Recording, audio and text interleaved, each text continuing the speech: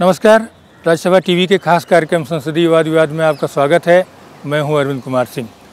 संसद के शीतकालीन सत्र के दौरान राज्यसभा ने एक बेहद अहम विधेयक पारित किया, लोकपाल विधेयक 2011 इसे लेकर काफ़ी दिनों से प्रयास चल रहा था, चार दशकों का सपना था ये, और इस विधेयक को पारित होने के साथ ही साथ एक बहुत अहम कानून भारत के विधायी इतिहास में लिखा गया है इसे लेकर संसद से लेकर सड़क तक तमाम बहसें हुई लेकिन राज्यसभा में जो बहस हुई वो राज्यसभा के इतिहास की बहसों में अनूठी रही। इस एपिसोड में हम आपको दिखाएँगे लोकपाल से जुड़े हुए वाद विवाद।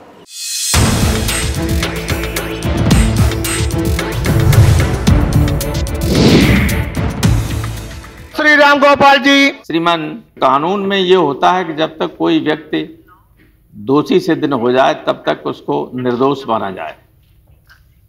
लेकिन ये बिल इस तरह का है जिसमें हर व्यक्ति को दोषी मानकर चला जाएगा और प्रधानमंत्री से लेकर एमपी तक और कैबिनेट सेक्रेटरी से लेकर निचले स्तर के अधिकारी तक। किसी के खिलाफ भी कोई भी व्यक्ति एप्लीकेशन दे सकता है और हम लोगों को और इन मंत्रियों को खास तौर से एक एसपी स्तर के अधिकारी के खिलाफ, एक डिप्टी स्तर के अधिकारी के पास सामने अपने बयान देने जाना पड़ेगा। ये बहुत ही हास्यास्पद स्थिति होगी। और स्थिति ये होगी कि कोई भी अधिकारी कागजों पर निर्णय लेने पर दस्तखत करने से डरेगा, मंत्री दस्तखत करने से डरेगा। आज ही के अखबारों में है कि अगली सरकार के भरोसे सैन्य आधुनिकीकरण, लड़ाकू विमान, तोप, पनडुब्बी खरीद समेत कई सौदे ठंडे बस्ते में कोई अधिकारी दस्तखत नहीं करना चाहता है। हर फ़ाइल प्रधानमंत्री के पास भेजना चाहता है कि, केवल प्रधानमंत्री सीधे दस्तखत करे। ज़िम्मेदारी हो तो प्रधानमंत्री की हो, अधिकारी सब प्रधान अब ड्यूटी से बचना चाहते हैं। तो आप देश को अनिर्णय की स्थिति में ले जाना चाहते हैं। हम राजनीतिक व्यक्ति हैं, विरोधी हमारे होते हैं। जो आपके खिलाफ चुनाव लड़ेगा, आपका विरोधी है। राजनीतिक विरोधी होंगे, और विरोधी होंगे, वो कोई भी, किसी भी व्यक्ति को, जो ये कहे कि हम बिल्कुल 100 परसेंट दूध के धुले हैं, उसको भी कल लोकपाल आने के बाद उस एमपी को एमपी लेड वाले मामले में जेल भेजा जा सकता है, कोई रोक नहीं सकता। कोई अधिकारी फ़ाइल नहीं चलाएगा।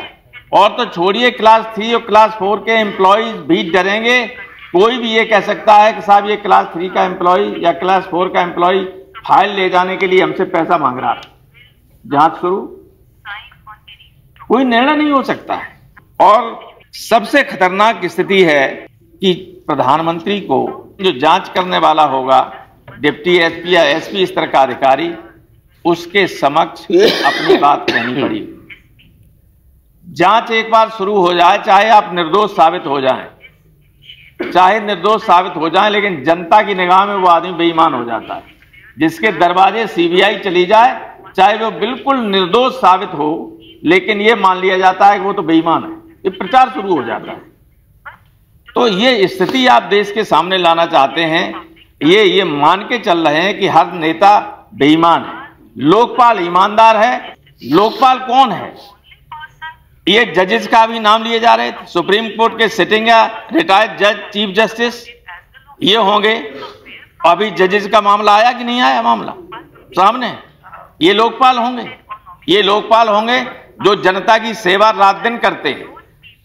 जो आधी रात में भी दरवाज़ा खटखटाता है, कोई कष्ट में होता है आदमी तो ये पॉलिटिकल लोग बैठे हुए लोग उसकी मदद करते हैं। वे सब बेईमान हैं। और बेईमानदार हैं जो किसी से कभी मिलेंगे नहीं। अगर मिलने के लिए टाइम ले तो कहेंगे, अब पूजा कर रहे हैं, अब ऑफ़िस चले गए हैं, उसके बाद रिटायर हो जाएँगे रिटायर होने के बाद लोकपाल बन जाएँगे और आपकी जाँच करेंगे। बहुत इंपॉर्टेंट मसलों पर जब निर्णय नहीं हो सकेगा, अनिर्णय की स्थिति में देश होगा तो वो देश के हित में नहीं होगा।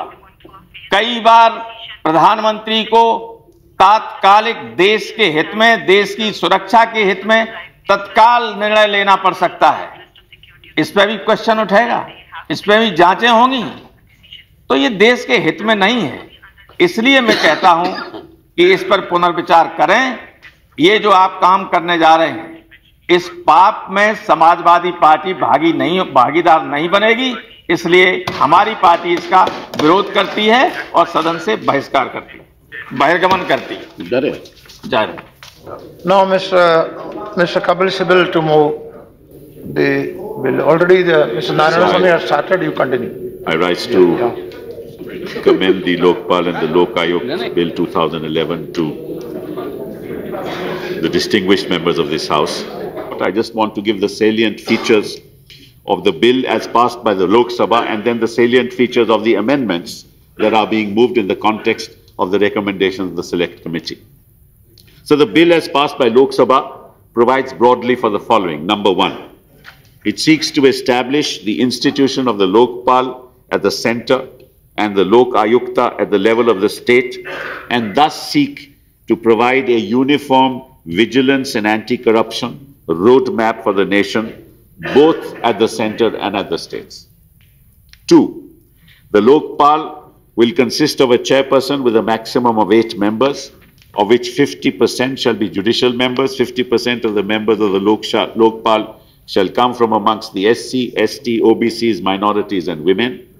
The selection of the chairperson and members of Lokpal shall be through a selection committee consisting of the Prime Minister, Speaker of the Lok Sabha, Leader of Opposition in the Lok Sabha, Chief Justice of India, or a sitting Supreme Court judge nominated by the Chief Justice of India, and an eminent jurist to be nominated by the President of India.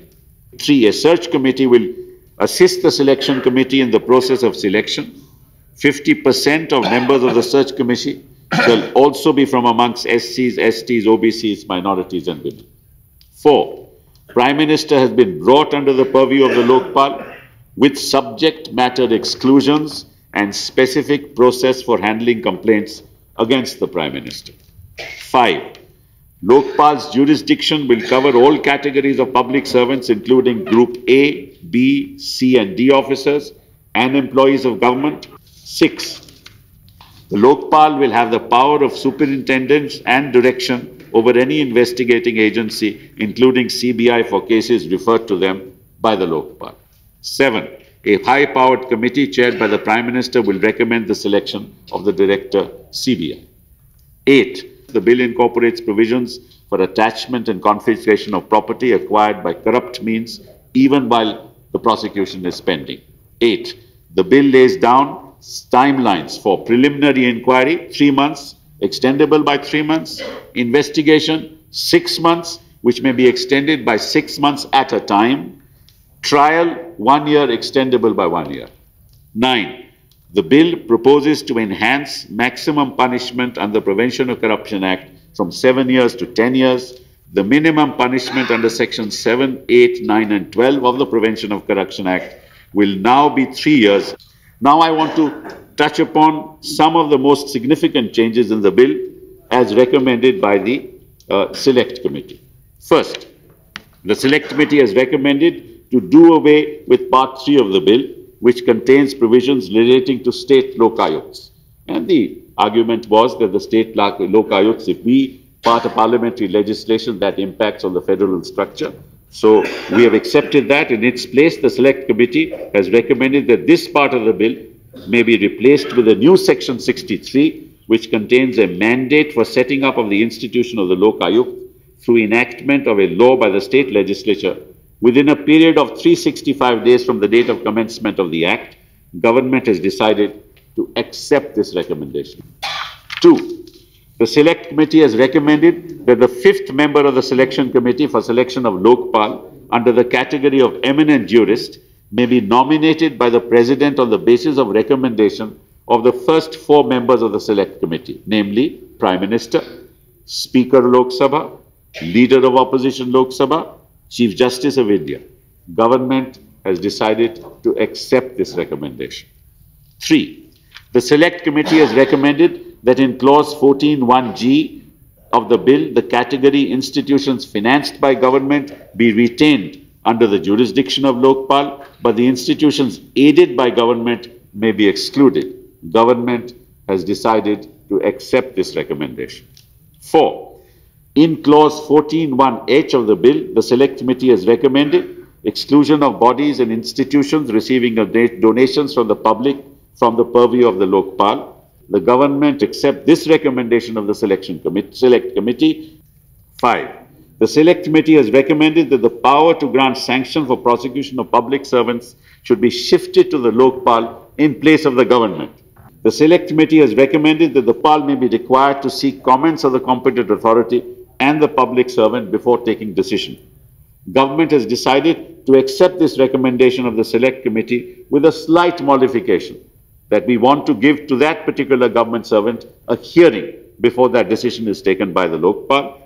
Number five, after taking a decision on filing a charge sheet in a case, upon consideration of the investigation report, the Lokpal may authorize its own prosecution wing or the concerned investigating agency to initiate prosecution in the special court. Government has decided to accept this recommendation of the Select Committee. Six, the Select Committee has recommended a number of amendments in the bill with a view to strengthening the CBI. One, the, set, the, the setting up of a Directorate of Prosecution headed by a Director of Prosecution under the overall control of the Director CBI. Two, the appointment of the Director of Prosecution on the recommendation of the CVC. Three, maintenance of a panel of advocates by CBI other than government advocates with the consent of the Lokpal for handling Lokpal referred cases. Four, transfer of officers of CBI investigating cases referred by Lokpal with the approval of Lokpal. And five, provision of adequate funds to CBI for investigating cases referred by Lokpal. Government had originally decided to accept all these recommendations, so there is no element of any governmental interference when you deal with matters of corruption. With these words, sir, I commend this bill to the distinguished members of this House. Thank you. Honorable Leader of Opposition. माननीय उपसभापति जी ये सबके लिए खुशी की बात है कि इतिहास ने हमें एक और अवसर दिया है कि जो बहस 46 वर्षों से इस देश में चल रही थी उसको आज समाप्त करके हम पहल करें और लोकपाल कानून को पारित करें। इस कानून आने के बाद निर्णय की प्रक्रिया सुधरेगी। लोग डरेंगे, गलत कारणों से निर्णय करते वक्त। और इसलिए 29 दिसंबर 2011 और आज के बीच में जो सुधार लाने का प्रयास कर रहे हैं, आने वाले कल में भी शायद इसमें चार और सुधार करने की आवश्यकता पड़े और अनुभव के आधार पर इस देश की राजनीतिक प्रक्रिया उसको करे। इसमें था कि हर राज्य के अंदर लोकायुक्त की स्थापना होगी। इस विषय को लेकर केवल राजनीतिक नहीं, एक संवैधानिक बहस थी। भ्रष्टाचार के खिलाफ अगर लड़ाई लड़नी है लोकायुक्त या लोकपाल के माध्यम से तो देश के संघीय ढांचे के साथ साथ वो लड़ी जा सकती है। और 29 दिसंबर 2011 की बहस में यह बड़ा प्रमुख कारण था। सरकार की तरफ़ से यह कहा गया कि संविधान की धारा दो सौ तिरपन के तहत, क्योंकि अंतर्राष्ट्रीय एक समझौता है international covenant against corruption convention against corruption उसको इफ़ेक्ट देने के लिए इस कानून को लाया जाए। और इसलिए केंद्रीय सरकार के पास यह अधिकार होगा। अन्य राजनीतिक दलों का यह मानना था कि यह कानून राज्य की सेवाओं के साथ संबंध रखता है। ये केवल क्रिमिनल लॉ नहीं है। इसलिए आज जो सुझाव लाया सिलेक्ट कमेटी के सुझाव के बाद, कि इसकी एक प्रावधान इस कानून में कर दिया कि एक वर्ष के अंदर हर राज्य के अंदर लोकायुक्त बनाना अनिवार्य होगा। एक मॉडल लॉ इसी कानून के आधार पर केंद्र हर राज्य को भेजे, उस कानून को या कुछ संशोधनों के साथ हर राज्य की विधानसभा के लिए यह अनिवार्य होगा कि उस लोकायुक्त को भी पारित करें। लोकायुक्त होगा लेकिन संविधान के दायरे में होगा और जो संवैधानिक संस्था है हर राज्य की, हर राज्य की विधानसभा, ये उसके ऊपर जिम्मेवारी दी गई है कि उसके लिए यह अनिवार्य होगा कि उस कानून को वो बनाए। लोकपाल की नियुक्ति करने में सरकार का पलड़ा अगर भारी रहता है तो केंद्र में, केंद्र की सरकार और राज्यों में राज्य की सरकार अपनी मन से लोकपाल की नियुक्ति कर ले और फिर उसका राजनीतिक दुरुपयोग होगा। सरकार की तरफ़ से तीन ऐसे लोग थे पाँच में से। पहले ड्राफ्ट में जो सरकार का पक्ष ले सकते थे। एक उसमें चीफ जस्टिस ऑफ़ इंडिया थे, एक लीडर ऑफ़ ऑपोजिशन थे। दोनों सरकार के दायरे से बाहर थे। लोकसभा के अध्यक्ष रहेंगे, प्रधानमंत्री जी रहेंगे। पाँचवें सदस्य एक जूरिस्ट ऑफ़ एमिनेंस जिसको सरकार नियुक्त करती है। उसको हम लोगों ने बदल दिया। और बदल के ये पहले चारों सदस्य, जिसमें चीफ जस्टिस ऑफ़ इंडिया भी होंगे लीडर ऑफ़ ऑपोजिशन भी होंगे, लोकसभा के अध्यक्ष भी होंगे, प्रधानमंत्री जी भी होंगे, ये चारों मिलकर पाँचवें सदस्य का चयन करेंगे, जो एक जूरिस्ट ऑफ़ एमिनेंस रहेंगे। लोकपाल जिसके खिलाफ शिकायत होगी, उसको हटाने का अधिकार किसके पास होगा? जो सरकार विधेयक लाई थी, उसमें हटाने का अधिकार और उस कार्रवाई को आरंभ करने का अधिकार केंद्र सरकार के पास था। उस प्रावधान को भी बदल के सांसदों जैसे इंपीचमेंट प्रोसेस होता है यह अधिकार उसकी तरफ़ शिफ्ट किया गया। इस रेफरेंस के दौरान क्या वो अपने पद पे बने रह सकते हैं? पुराने कानून में जो लाया गया था सस्पेंड करने का अधिकार केंद्र सरकार को था। वो अधिकार भी सुप्रीम कोर्ट को शिफ्ट कर दिया गया ताकि लोकपाल की हटाने का या सस्पेंड करने का प्रावधान भी जो है, उसको निष्पक्षता एक प्रकार से दी जा सके। सामान्य तौर पे जिसके खिलाफ कार्रवाई हो रही है, उससे पूछना ये अपने आप में न्याय संगत है। लेकिन इसमें एक अपवाद करने की ज़रूरत है। भ्रष्टाचार के संबंध में अगर आरोप यह है कि फला आदमी रिश्वत मांग रहा है और इस जगह पर रिश्वत लेगा please allow search and seizure even without a prior notice. Make a clarificatory amendment so that this provision itself can't be misused. Sir, last suggestion is you have provided for religious based reservations in the matter of appointment. The Constitution does not permit this kind of a reservation at any stage.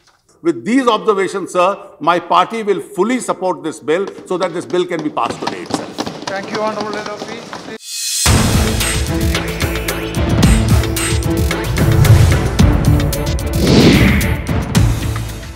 एक ताकतवर लोकपाल की मांग काफ़ी पुरानी है। संसद में भी इस मसले को लेकर तमाम बहसें हुई। साथ ही साथ सिविल सोसाइटी ने भी इस मसले को उठाया। इसके बाद स्थायी समिति और प्रवर समिति सबने इसकी गहन छानबीन की। फ़िलहाल हम लेते हैं एक छोटा सा ब्रेक और इसके बाद आपको दिखाएँगे वाद विवाद। हमने जो एक संशोधन जो मूव किया था, क्लॉस चौदह की, ये संशोधन कोई इंक्रोचमेंट नहीं है। प्राइवेट कॉरपोरेट्स का या प्राइवेट एजेंसीज का प्राइवेट बॉडीज का काम करने से। वो बेशक काम करें अपने संवैधानिक अधिकारों में। उनका बेशक अपना अधिकार रहेगा, उसकी पूरी की पूरी रक्षा ये संसद करेगी, ये कानून करेगा। लेकिन जब वो सरकारी काम के लिए अपनी टेंडर देते हैं, उनको जो कॉन्ट्रैक्ट जो मिलता है, अगर उसके ऊपर कोई आरोप है तो उस आरोप की जाँच लोकायत के तहत होनी चाहिए, वरना देश के अंदर eliminating corruption at high places is not possible break के बाद आपका स्वागत है। आप देख रहे हैं हमारा खास कार्यक्रम संसदीय वाद विवाद मैं हूँ अरविंद कुमार सिंह। लोकपाल से जुड़े मसलों पर सांसदों ने खुलकर तमाम सवाल खड़े किए। भ्रष्टाचार से लड़ने वाली मशीनरी की कमज़ोरी की बातें कहीं। साथ ही साथ सशक्त लोकपाल के पक्ष में कई अहम सवाल भी उठाए। आइए आपको दिखाते हैं वाद विवाद में क्या सवाल उठाए गए।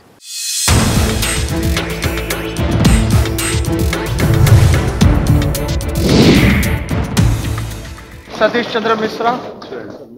मानवर schedule caste schedule tribes backward class minorities इनका रिप्रेजेंटेशन सिलेक्ट कमेटी में आपने रखा है। आपने जो सर्च कमेटी उसमें भी रखा है। आपने लोकपाल की कमेटी में भी रखा है। इसके लिए मैं आपको बधाई देता हूँ। 25 परसेंट की जो जनता है बिलोंग करती है शेड्यूल कास्ट को, उनका कुछ रिप्रेजेंटेटिव बात सुनने के लिए और उनकी बात समझने के लिए इन संस्थाओं पर भी, इन जगहों पर भी उपलब्ध हों और बैठे हों। मानवर सेक्शन 63 के होने की वजह से आपने लोक आयुक्त वाला प्रोविज़न तो हटा दिया but the government must take initiative of sending the draft as a model the act as a model to all the states and ask them to adopt this and make a request, make a request to consider and adopt this within a one year. Period हमारी party आपके इस bill के समर्थन में बात नहीं रख रही है। श्री सीताराम येचुरी प्रधानमंत्री ने हमें अर्थशास्त्र सिखाया था। उन्होंने अर्थशास्त्र में दो बातें कही कि एक तरफ़ से होता है सप्लाई दूसरी तरफ़ से होता है डिमांड। आज लोकपाल की बात हम कह रहे हैं कि देश के अंदर भ्रष्टाचार पर रोक लगाएँगे। तो भ्रष्टाचार के डिमांड के ऊपर रोक लगाएँगे उसके लिए पूरे प्रावधान आपने बनाया। आप सप्लाई के बारे में काहे चुपे भाई बताइए। हम कह रहे हैं कि आप चुनावी संशोधन लाइए ताकि कॉर्पोरेट हाउस की फंडिंग पॉलिटिकल पार्टीज़ को बंद करें। बिना वो सप्लाई की भ्रष्टाचार होता नहीं। चार मुख्य बातें थी जो पिछली बार हमने आपत्ति जताई। ऑन द लोक लोकायुक्ताज हमने कहा था कि एक मॉडल बिल भेजिए, जो आज स्वीकार हुआ दोनों तरफ़ से। अब राज्य सरकारें, राज्य असेंबलीज क्या करेंगे, क्या नहीं करेंगे, वो उन पर निर्भर है। लेकिन हमारी आग्रह उन सबसे यही है कि इस मॉडल बिल के आधार पर संविधान के संघी ढांचे के आधार पर वो अपने अपने राज्यों के अंदर लोकायुक्त एक साल के अंदर करें।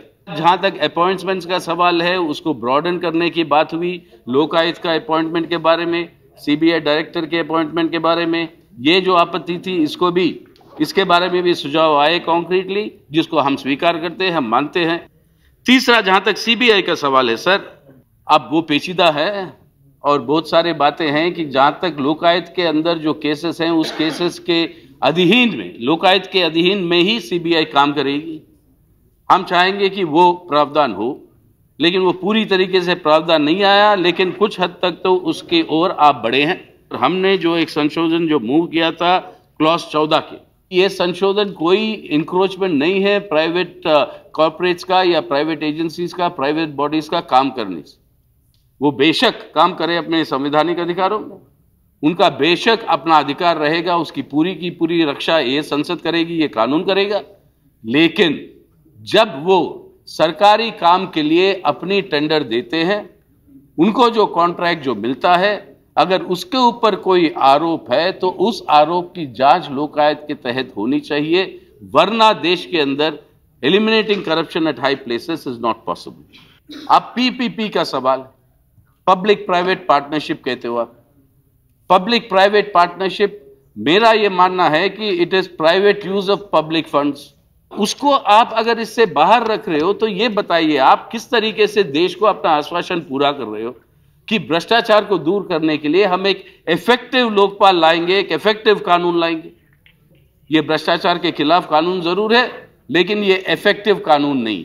और फॉरन फंडेड एनजीओ पर फिर पुनर, पुनर्विचार करिए। Shri Sukhendra Shekhar Roy.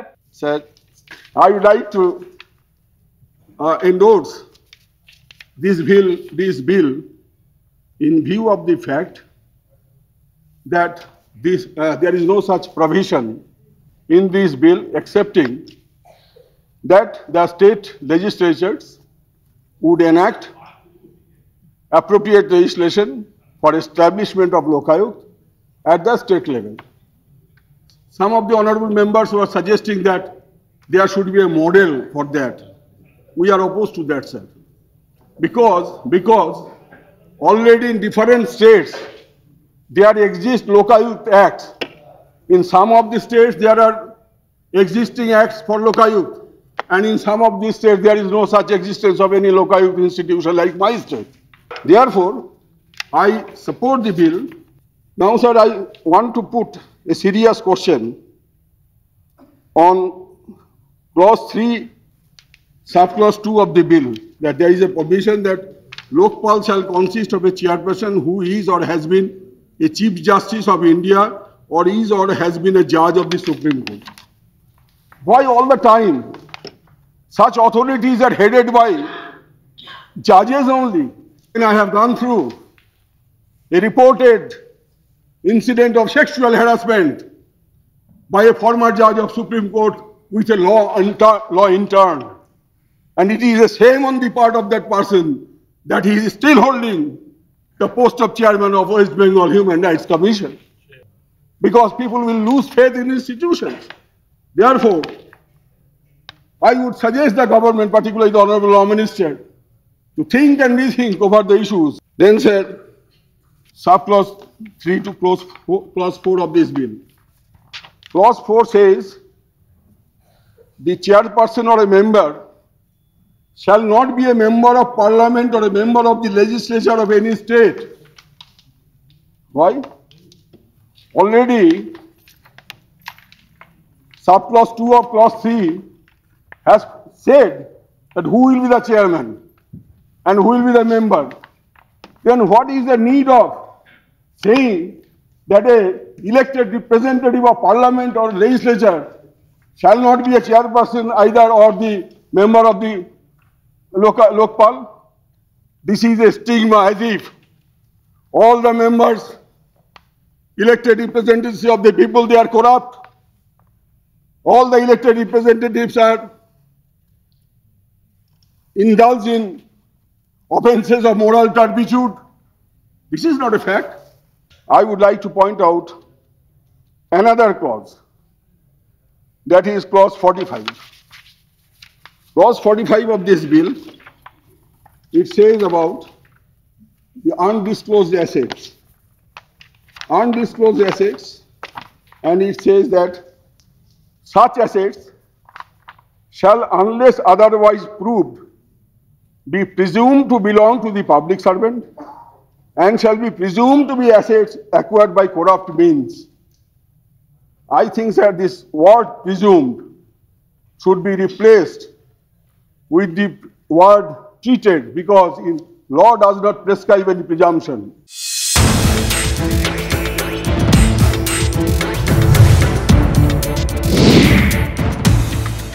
कुल मिलाकर राज्यसभा में लोकपाल के मसले पर हुई चर्चा राज्यसभा के इतिहास की बेहतरीन चर्चाओं में से एक माना जा सकता है जहाँ सांसदों ने एक और भ्रष्टाचार के खिलाफ लड़ाई के लिए एक मज़बूत तंत्र मज़बूत लोकपाल की वकालत की वहीं साथ ही साथ मौजूदा तंत्र की तमाम खामियों को भी उजागर किया। साथ ही साथ उन्होंने कुछ बहुत महत्वपूर्ण सुझाव दिए जिसे सरकार ने स्वीकार भी किया। इस एपिसोड में फ़िलहाल यहीं तक।